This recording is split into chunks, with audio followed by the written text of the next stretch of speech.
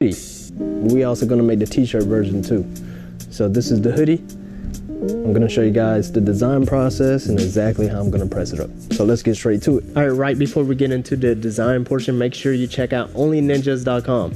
This is the only sponsor for this video, is myself, onlyninjas.com. Every single dollar spent there is one entry into the giveaway of either winning, actually not either winning, winning both a heat press and a vinyl cutter. So make sure you check it out. Also, you're gonna be able to purchase this exact hoodie if you want to support the channel, support, you know, everything that I do here pretty much comes from there. So make sure you check it out onlyninjas.com. Make sure you follow the Instagram too, Only Ninjas Brand, at Only Ninjas Brand. All right, let's get straight into the video. All right, so in order to make a t-shirt design or a hoodie design in this case, first thing we need is the graphic. And I made this in a very simple way. It looks a little intricate, but it's a lot easier than you think. So first thing I did was I purchased this font from Creative Market. As you can see, this is actually a very popular font right now. There are some free options out there. I don't know the free options, honestly, but this is the one that I've been using. It's called Glamour Absolute and it's pretty awesome. It has the different types of ligatures, so that always helps elevate your font because that way not every single letter looks the same.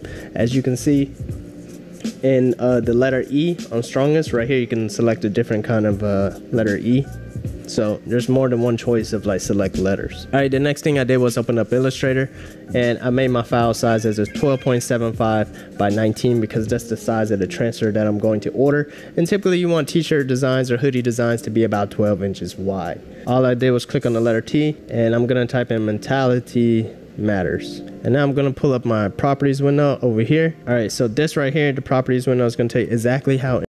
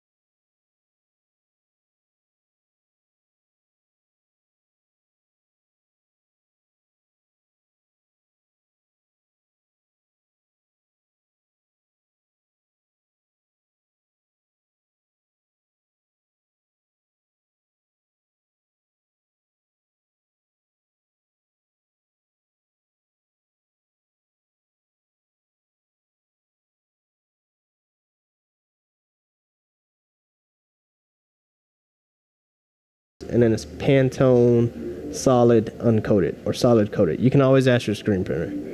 All right, and then all of these are pretty much Pantones.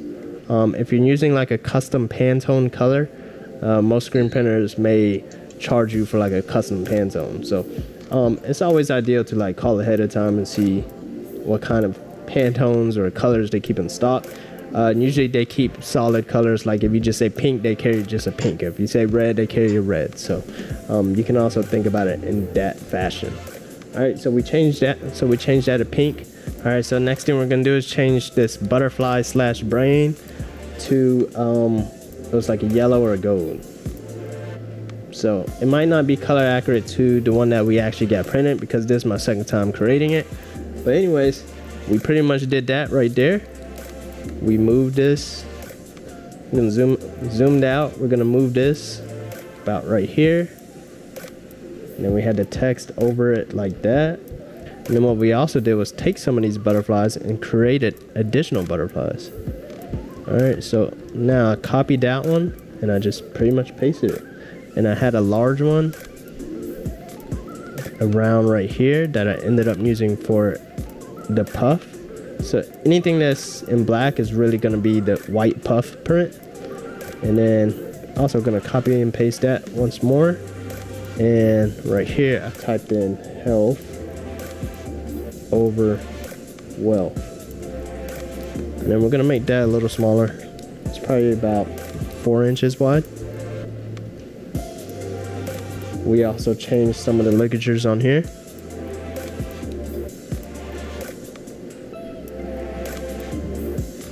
And then we also spaced it out a little bit. You know, something like that. All right, so we got something like that going on. And then we also put a few more butterflies up here. Can't remember which ones we selected, but let's go with maybe this one. And then I believe we also have about maybe two more. So we're gonna copy this one over here. Something like that. And this one over here. So we had something similar to that. And then there was one other thing that we did was create a blue and pink outline for the actual text. So what I'm gonna do is hit copy. I'm gonna paste it again. And now I'm gonna place it about right here. I'm gonna remove the color. I'm gonna put a stroke on it. It was about maybe two pixels. We're gonna change the stroke color to whatever other colors we use. So we have pink right here. We're also gonna send this to the back. We're gonna hit right click, arrange, and send to back. All right, maybe it was about three pixels, not too sure. So I need to make another one. I'm just gonna make this invisible real quick. So I can select on this one, copy and paste another one, and move it on up. And then we're gonna make this one cyan. Now we're gonna make this come back. Oh, we also need to send this to the back. There we go. So we pretty much did it just like that, except for we made the black white. That's pretty much it. Simple, right? Um, also, we did make it a little bit smaller. That way we could have the back portion of the hoodie for the transfer. And then we copied this top portion. And put it down here as well. That way we could get the front portion and then this whole entire larger piece is the back portion. All right, so what I did was I removed all of the black parts because I was gonna do that part myself with the white puff. And I ordered this right here as a three color transfer. So I went on over to 613 Originals. I know a lot of people say uh, Plastisol transfers typically crack. So I found out a nice little secret from one of my homies who doesn't want to be announced on who he was, but he helped me out with this one. He uses the stretch transfers. It's a little more pricey, but uh, they also have it's 35 cent over here. He uses the stretch transfers, even though it says it's for spandex and stretch fabrics. It doesn't say it's for cotton. He uses that on a cotton t-shirt. And that's what I ordered. So I did the three color, the larger size, so you can do a gang sheet. And I believe I ordered around 72 for $4.83 each, which it sounds kind of pricey, but it, I'm doing a three color and I'm doing one very large. So check it out. One color for this size, and this is a gang sheet. It gets to around like a dollar 88 for around that quantity.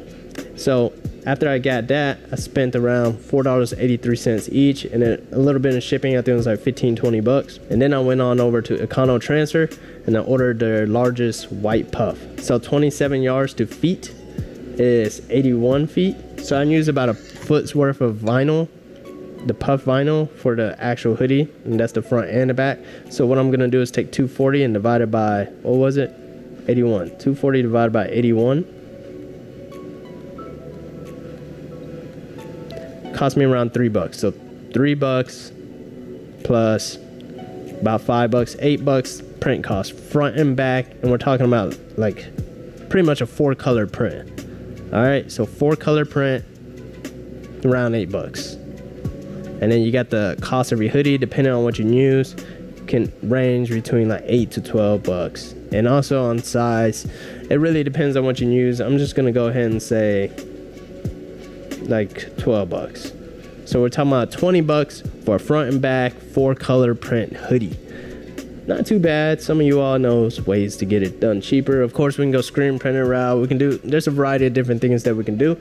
But anyways, um, we're gonna get into that at the end of this video. Right now, we're gonna hop into making this hoodie. Let's go. All right. So now that we did the design part, all we have now is our transfers. This is from 613 Originals. Also, I found out the key to not cracking is actually ordering the the stretch ones. So, you know, in the section where it says stretch and it doesn't say it's for cotton, it says it's for like nylon and all that stuff. I still use it for cotton. I don't know if this is recommended or anything like that, but I use it for cotton. Stretched it, doesn't crack, and the wash is great. So, I think that's the secret to not cracking when it comes to these plastisol transfers. But I mean, it doesn't say anything about using it for cotton. It's just what I've been using. All right, so I actually found that from one of my homies who doesn't want to be announced. But on top of that, we're gonna use puff. So this is how we're gonna make it look. You know, we're gonna take the quality of the actual t-shirt, hoodie to a whole nother level. We're gonna use puff on top of the actual transfer. So we got our puff heat transfer vinyl. This is from Econo Transfer. So they, they always have the puff in stock and they always have other colors as well. So check this out. They also have these three colors. They have a whole lot of colors. This is all puff. So these puff up, which is awesome. We're not gonna use these colors in this video, but pretty dope. Okay, so the first thing we're gonna do is grab our hoodie. I'm using a Gildan G180. Reason being is because it's pretty cost effective.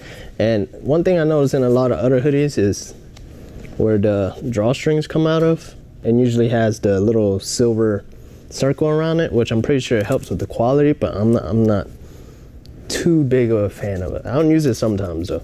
So with this, we can take the tag off. It's a tearaway and it's a Gildan G180. Quality isn't like an independent hoodie or a, a Bella Canvas style hoodie, but it gets the job done. So we're gonna go ahead and take this to the hat press, even though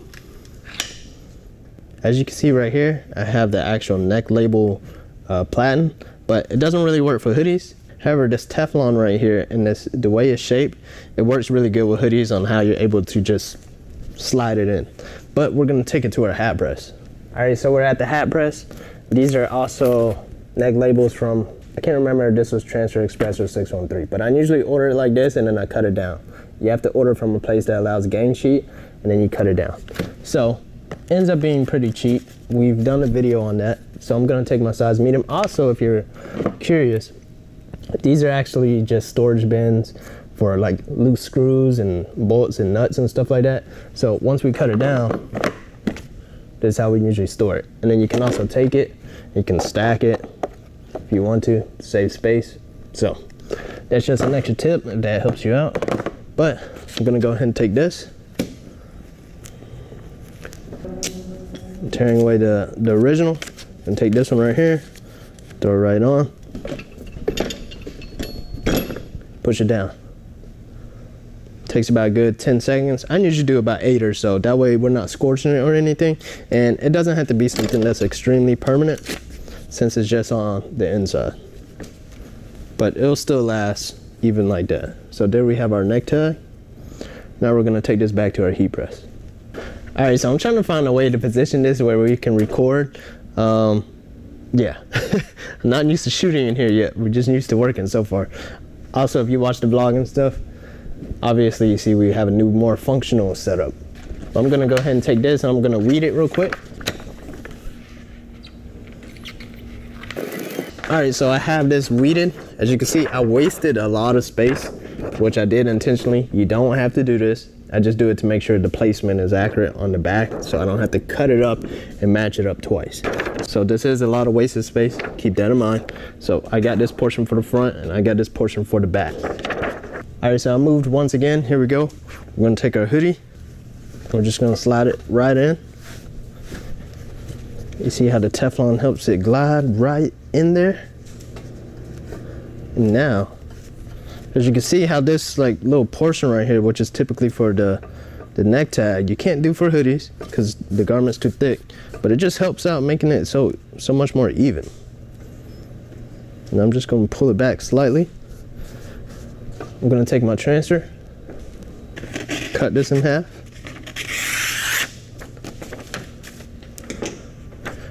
Now we're gonna take this, I'm just gonna give it a quick look. Now I'm gonna flip it over.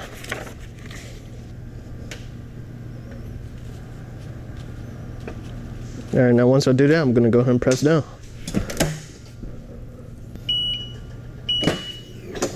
Take that off. I'm gonna take my puff. I'm gonna line it up right in the middle where it's supposed to be. All right, that looks good. Crank up the pressure just a little bit. All right, now we got our front portion done. Looks awesome. So check it out. We got our puff going. So there is one little issue is the fact that you can kind of see the puff. You can probably see it right there where it's a little more raised because of the transfer behind it. It's not too bad. It's only, you can only see it when you're very up close. But now I know the next time I order transfers and I want to like combine it with a puff on top of it, um, make sure to go ahead and clear out the space where the puff is supposed to go. So now, just throwing it to the back.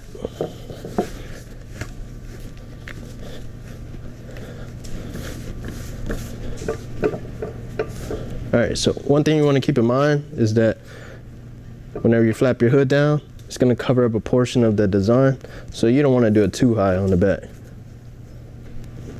All right, so now I got the back. Just gonna give it a quick little look.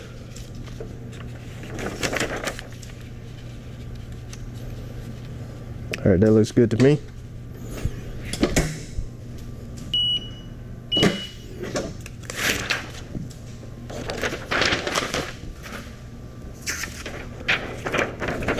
Now we're gonna take the puff, and like I said, a lot of wasted space, but it's just so that I don't have to match up twice. So it saves me time. I think the amount of time I'm saving in comparison to the wasted cost makes up for it. All right, so let's press the back down.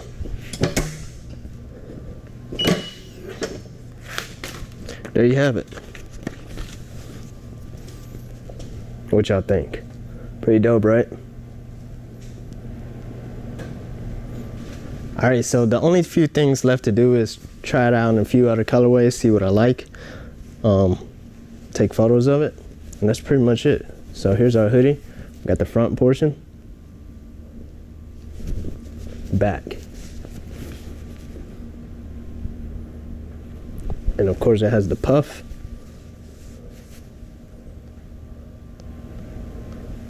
It's pretty sweet. So now I'm gonna take a few photos of myself, take a few photos of the actual uh, garment, and then post it up for sale. That's pretty much it. But don't close out this video yet because I'm gonna let you know why I chose to do transfers instead of getting it screen printed. All right, but before we do so, Y'all always ask me what kind of camera equipment I use. So this right here is a A6300. The one I'm recording on is an A6400.